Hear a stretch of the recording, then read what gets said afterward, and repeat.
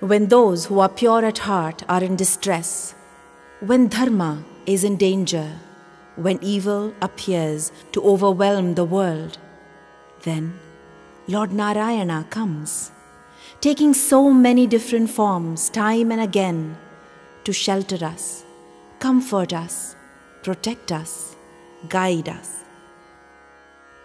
Matsya, Kurma, Varaha, Narasimha, Vamana, Parashurama, Rama, Balarama, Krishna, Kalki.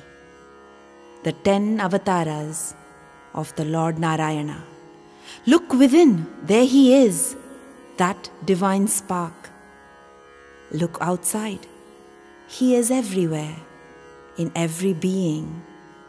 There is no place, no time without him.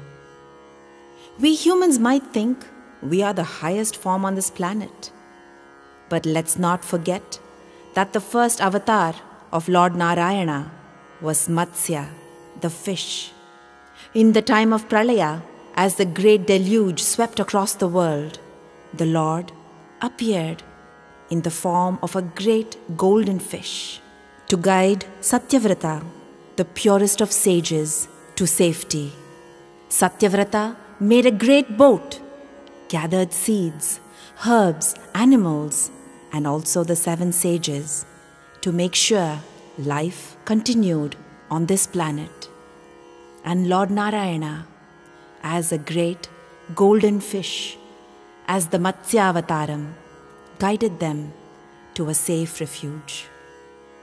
O Lord, we are beset on all sides by waves of sorrow and suffering. Guide us through this samsara sagara safely that we might attain your lotus feet that we call moksha.